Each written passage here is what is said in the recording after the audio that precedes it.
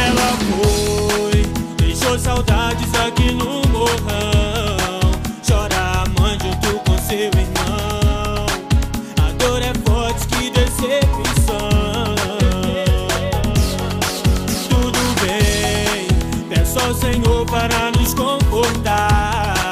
Que dê a ela paz pra descansar. Mas quando lembro, começo a chorar. Hoje o Cabana acordou de luto. Com a notícia que chocou todos nós. A mina já papatiu.